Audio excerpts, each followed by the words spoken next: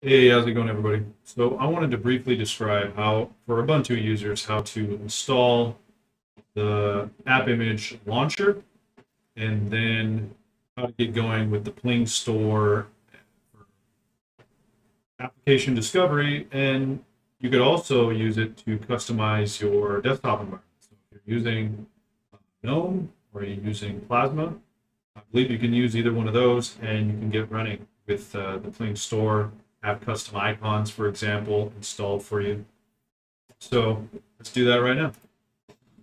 So in order to get up and running, if you're on Ubuntu 1904 and later, then you should install this PPA. The PPA installs the app image launcher with the required libraries that it needs. So I'll put this in the description, but this is the PPA that you need.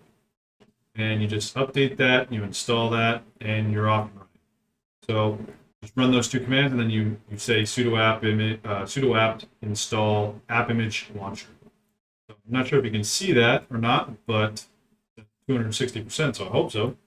So the app image launcher, this is the package that you're going to install. That's the, for my uh, version of Ubuntu, this is the, the package I'm installing. It's I'm pretty sure it's the same for all the different uh, versions.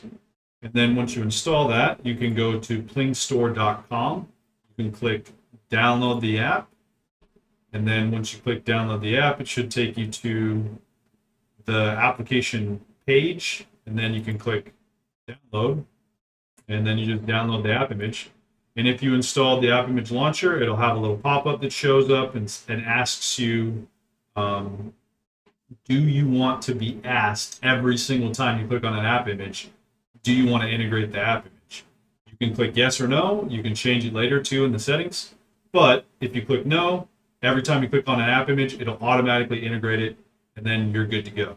And so the only little small difference that I've noticed with that is once you run it, you can't add it to the, the favorites from your your dock or your panel or whatever.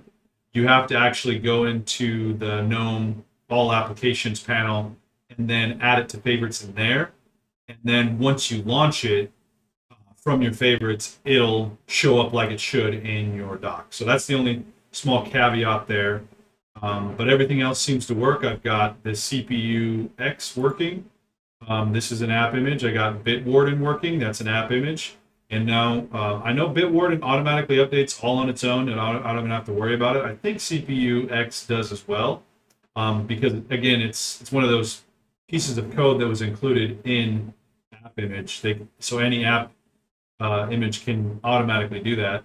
Or you can use Zap, or you can use uh, the Pling store. So for the Pling store, um, they have a whole bunch of different different things that you can get in, into. So they have app add-ons, they have apps, they have art, they have you know just a ton of stuff, wallpapers.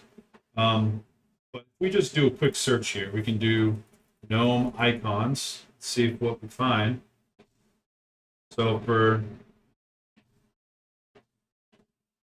so here's some of the the GNOME icons, and obviously you're going to have to inspect each and every one of these to see if it's going to be valid for your operating system. Right now I'm on Ubuntu 2104.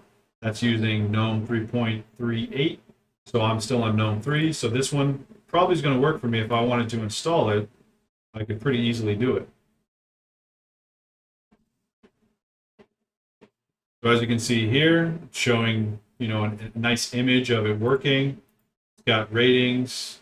It shows you the files that you are going to be getting in tar, and Pling shouldn't be able to handle uh, installing it in the correct location. So, I mean, obviously, you know, you have to test some of the stuff out. You have to be kind of smart about it. Not everything's going to work perfectly. Um, it's not going to hold your hand, um, but it should work pretty well. So that's all I wanted to show for Ubuntu users. This is how you get going. This is how you can use app images in your system, have it automatically integrated, and also have the Pling store. So yeah, take it easy.